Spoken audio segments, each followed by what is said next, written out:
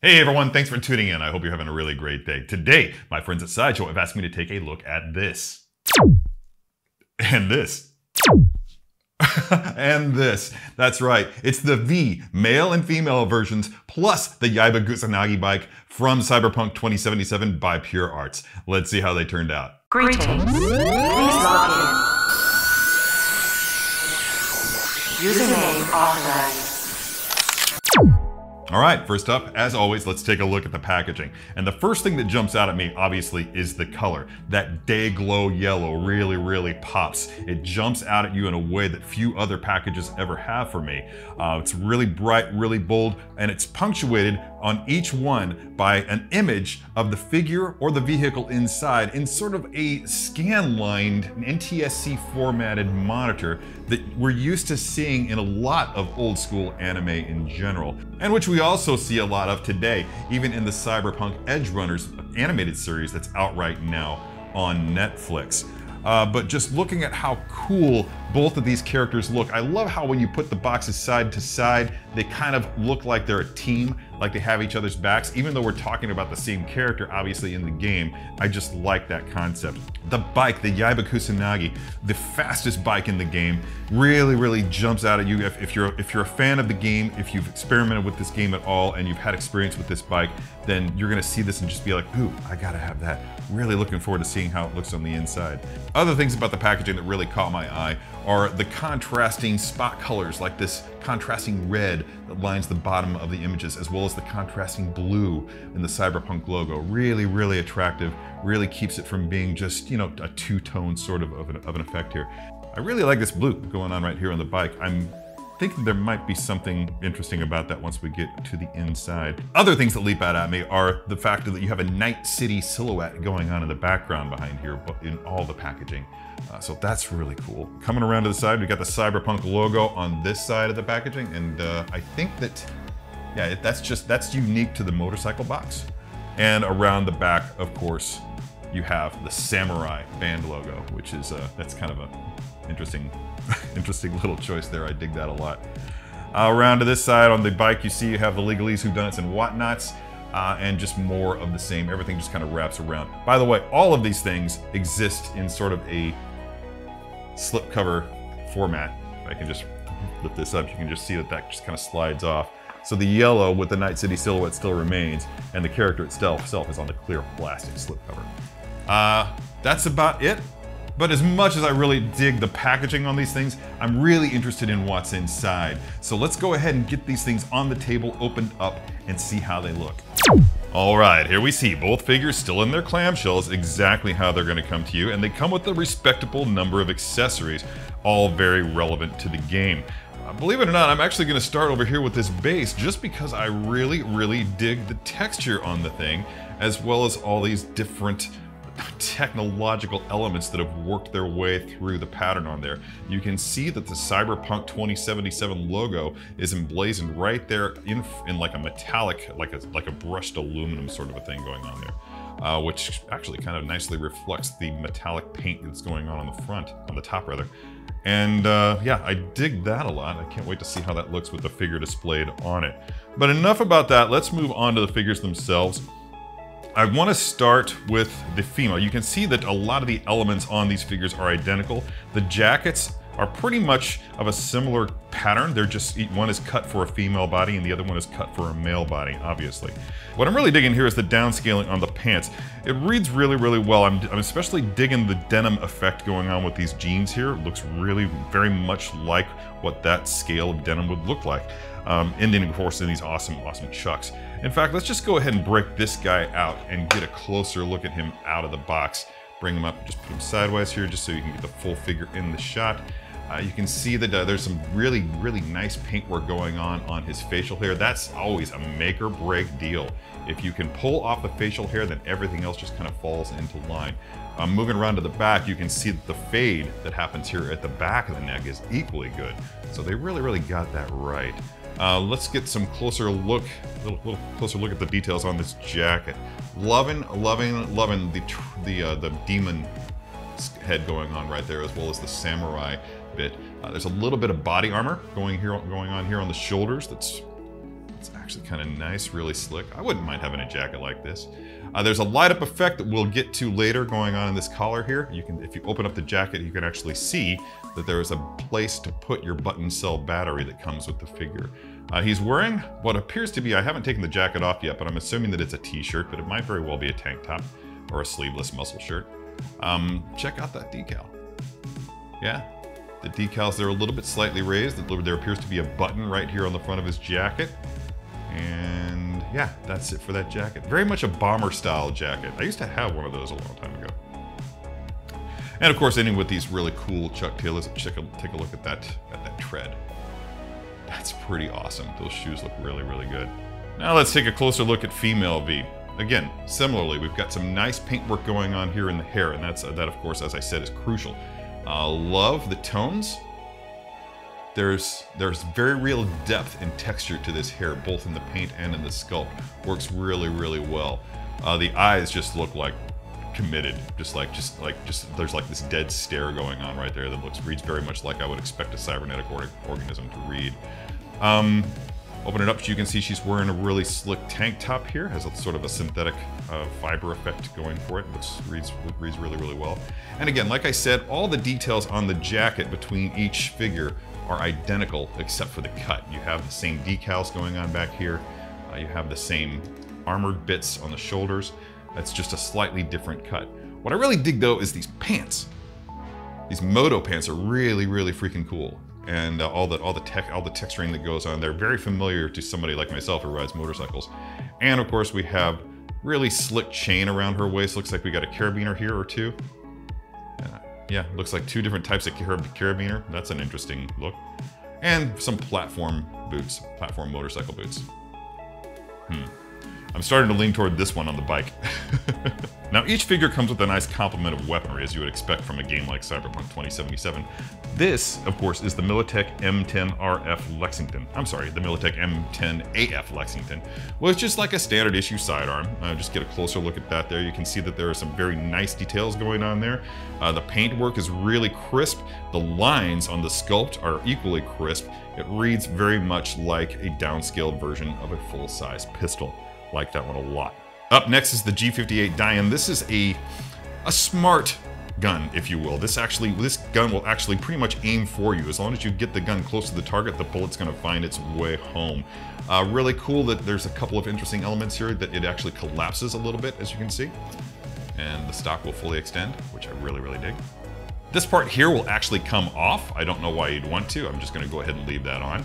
And uh, yeah, that's it. Very Again, just like with the pistol, there's a lot of slick design going on here, very crisp lines. Very, very much like this gun.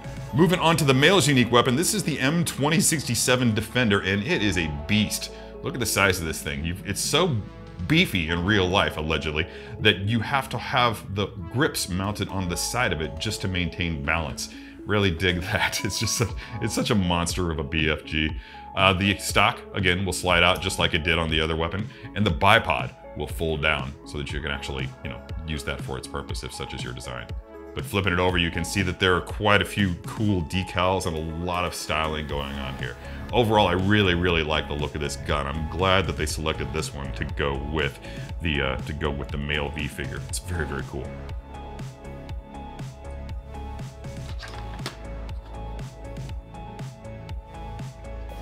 All right, moving on to the cybernetics, the male version has this awesome, awesome mantis blade fully deployed from the arm.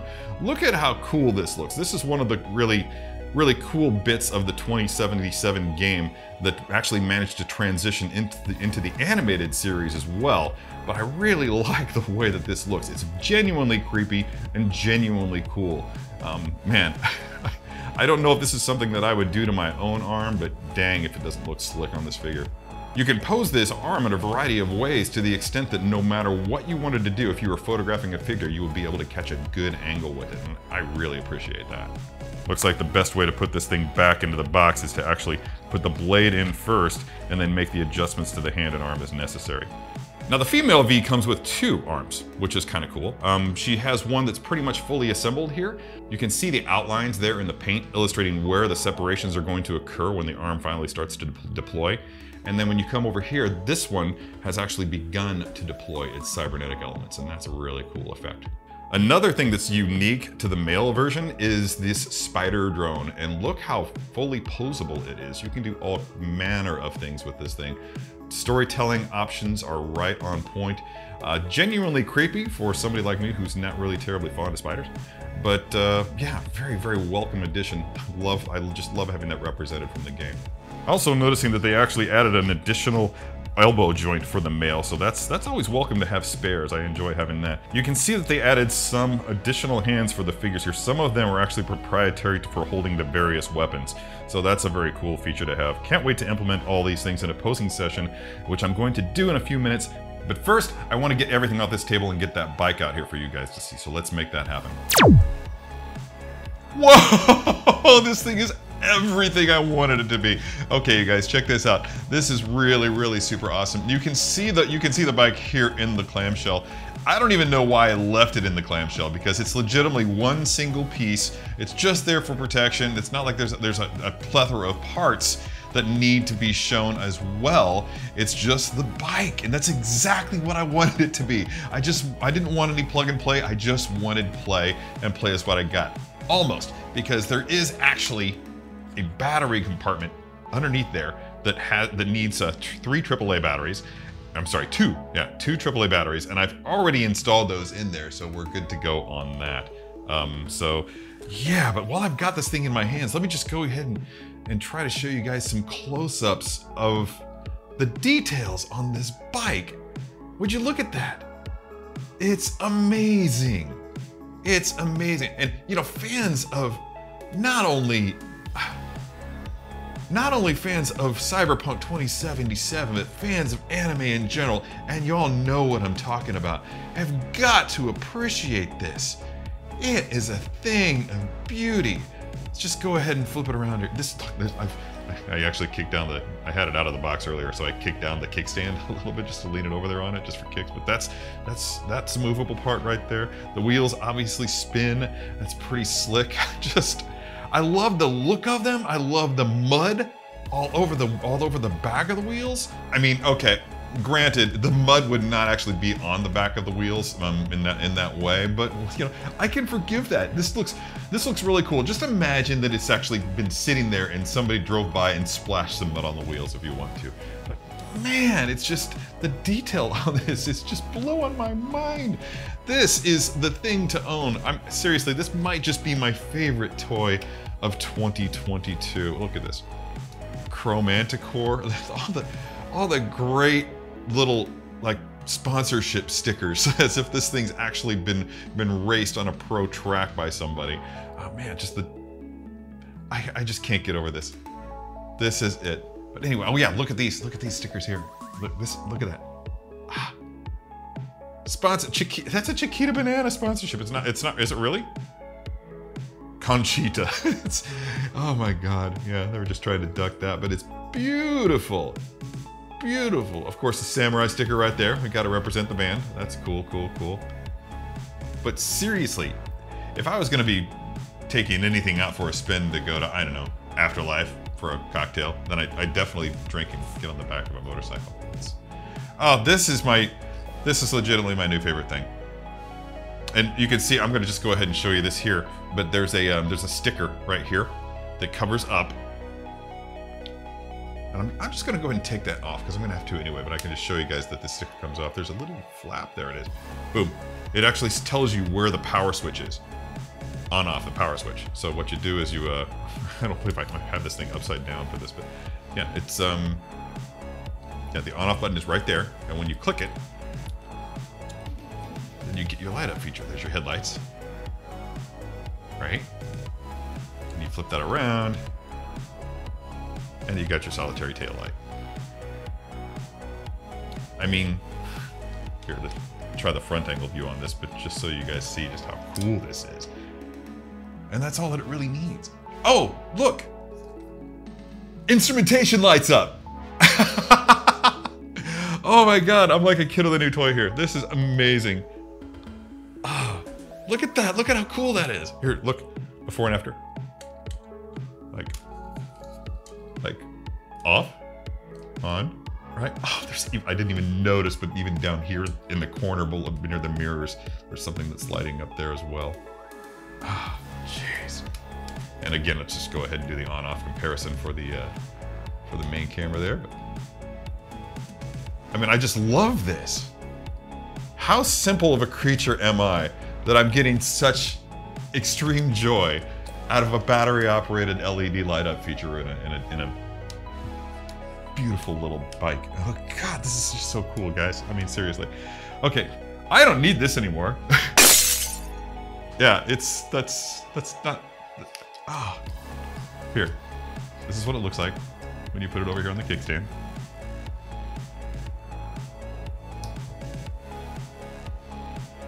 Fastest bike in the game, right here. I would have had one before now, but I didn't have 22,000 credits. you can just buy this in the game. You can buy this at Sideshow, and you can buy this in the game. This isn't like something you have to jump through a whole lot of hoops for. This is just a really... Do you even buy it? Yeah, you buy it with your credits, obviously, but it's like you just have a very simple task. You just have to go pick it up. That's it. And you can have this, the fastest bike in the game. You can have it in the game, and you can have it on your shelf. I know I'm being really repetitive here, but... license plate. I could spend the next hour just talking about everything that's on this. Look at that. There's, yeah, again, just just as I was just saying, there's a license plate on it. Look at how gorgeous that is. I'm just gonna slowly just do a slow turnaround for the overhead camera. And just show everybody just everything about it. I mean, it's. Oh, look at it. Why am I doing this without the headlights on?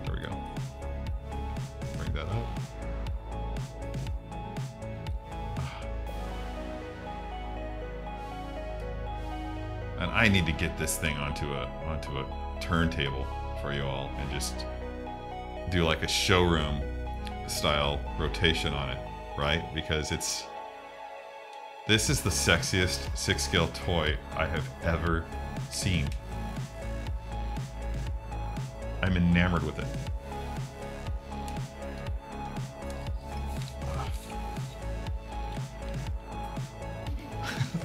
I'm just gonna sit here and spin the wheels. Spin the wheels, spin the wheels, spin the wheels. Spin them! Spin them! Alright, they're gonna have a hard time getting this back from me, I can tell. So that's it. That is it. Oh, what is the best angle for this? I, I, don't even know. I don't have a monitor up for this for, for this angle here. I'm just I only have it up for the overhead, so I can't really tell. But here, here it is from one side, but this would, I think this would legitimately be the side that people would display it on. Look at that, did you see what happened there? It has suspension. It has suspension.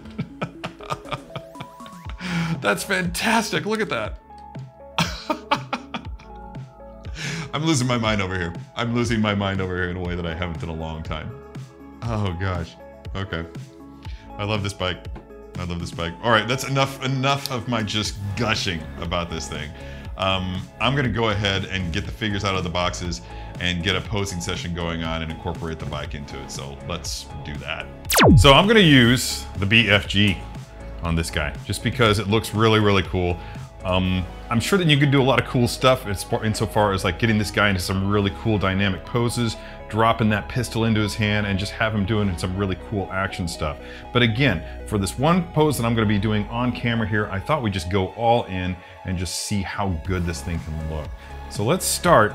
I would just wanna play it safe and actually get the hand onto the gun first. This may work, this may not. Sometimes this, this works better, sometimes it doesn't. But I'm thinking that given the unwieldy look of the gun itself, that it might actually help me a lot to have this done. So anyway, that's the right hand, so let's go ahead and pop this off. Mm, look at that. That's a pretty unique thing right there. I've never seen a hand wrist peg setup that looks like that before. That's kind of cool. Um, hard to break one like that. So that's that's kind of a welcome addition. Very cool. Let's go ahead and get that swapped out. And put that in there. And let's see, I'm gonna need to be able to move this this way. So let's go ahead and get that wrist peg into a proper position. And then slide that hand home. Okay, so this isn't gonna be a dynamic pose. This is gonna be a cool pose because a lot of this game is kind of about being cool.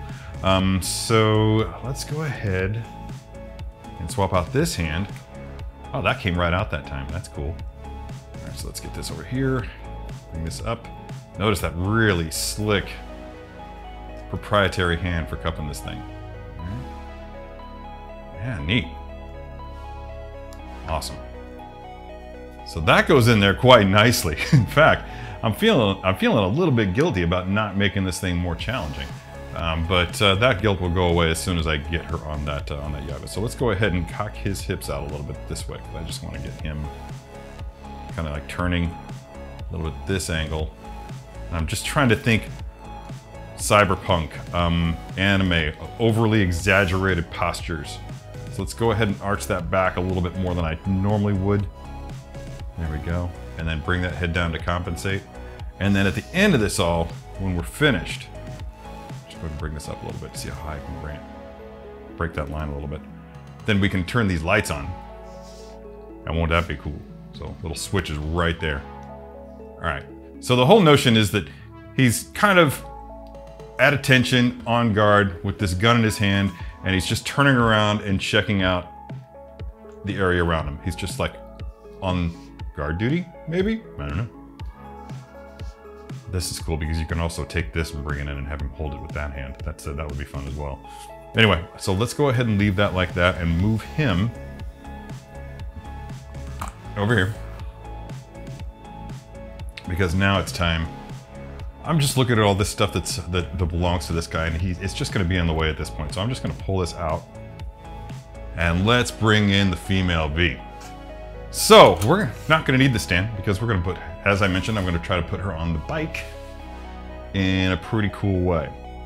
And for that, what I'm gonna need is this gun, I think, yeah. Oop, I hid the hands, there they are. I need the pistol grip for this hand and I'm gonna need, I think, the handlebar grip for this one. So we'll see just how extreme I can make this thing go. Just checking that torso twist, that's got quite a bit of play, that's good, we're gonna need it. And let's go ahead and swap out the hands. Again, because of the enclosed nature of this, I guess it's it's easy when you can like fold this this piece back here. But normally when a gun is enclosed like this, then you'll always want to go ahead and put the hand on first because when it's on the body already, it's just so difficult. Because of the breakaway nature of it and because you're going to extend the stock, then you don't need to do that with this with this gun. But we're not going to have it posed that way because she's going to be wielding it one-handed. We're going to have that stock closed all the way. It's just such a cool looking gun. I love the look of it. All right, let's go ahead and get this hand back on her. Ha, first try. Okay, cool.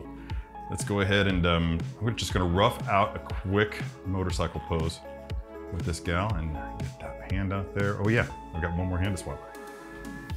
All right, now I'm gonna swing this around to this side, even though most of the posing is gonna be done at that side. I just wanna get her here. Yeah, that's working out. All right. Let's lean her forward. See if we can get that reach, and we can. That's great. Oh, I'm feeling pretty good about this. Let's see. Oh, that's a stiff hand. Not feeling kind of Nope. Just kind of gradually, slowly get that hand over there. That went on there quite nicely. And you can see we got our feet kind of flat on the on the uh, on the foot plates there. So we're off to a pretty good start here with this pose. I'm pretty excited about this. Now the cool thing about trying to do a pose like what I'm trying to do on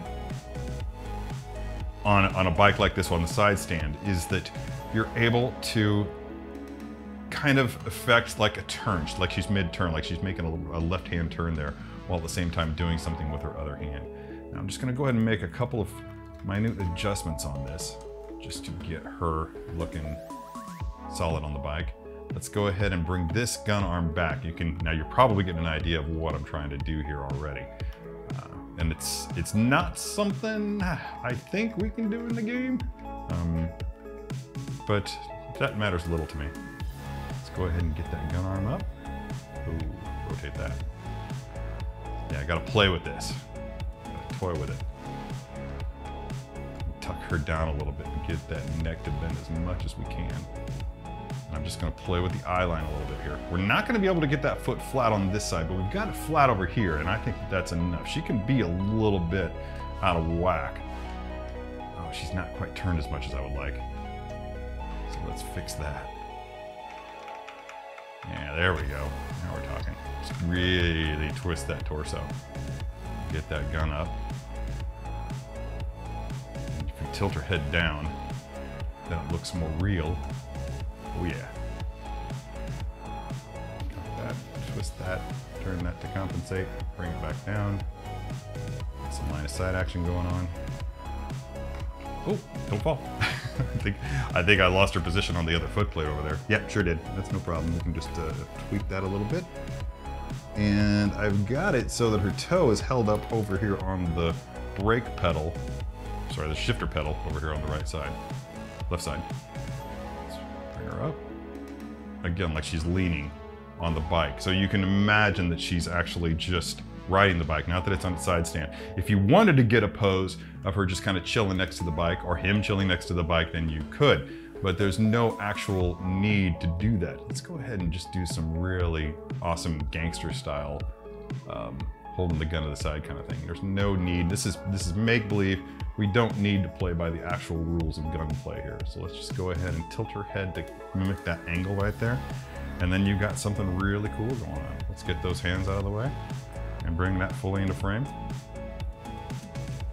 Looks like she's aiming at V-male. Make sure that, that oh, I think that side span started to come down a little bit. There we go. And there we go, done. And of course, if you really want it to look cool, then you can turn on all the lights on her and on the bike right there, which you really can't see from this angle. But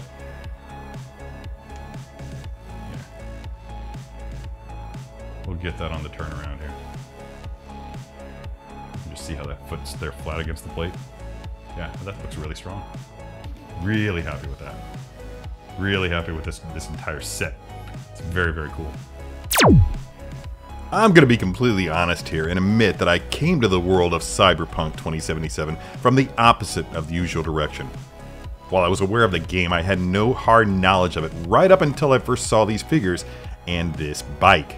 Everything about the paint, from the hot rod automotive red of the sleek fairing pieces to the surface efficiency of those exposed engine components, even the leather-like look of the saddle shows an absolute devotion on the part of Pure Arts to doing this bike justice.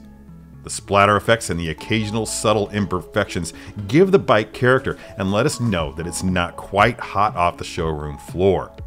The rubber of the tires just screams smoke me, and the light up effects illuminate to perfection. The sponsorship decals really round out the show off braggadocio that lies at the core of Cyberpunk 2077. Nothing can be subtle. Everything from your mods to your guns to your ride is about projecting a persona, and the Yaiba Kusanagi definitely projects. Add to that bike the V of your choice, and you've got a sci fi cocktail of a modern day horse and rider set in the wild west of the not so far flung future. There's a lot of fun to be had with this set, and I'm just getting started. That's about it for this video. If you have this set, let us know what you thought about it in the comments below. And until next time, don't forget to let your geek side show. Did you enjoy that video? Be sure to subscribe by hitting the S icon on your screen and click the bell icon to be notified whenever a new video is posted. If you'd like more info on the items featured in this video, click the link provided under product info. Thanks for watching, and don't forget to let your geek side show.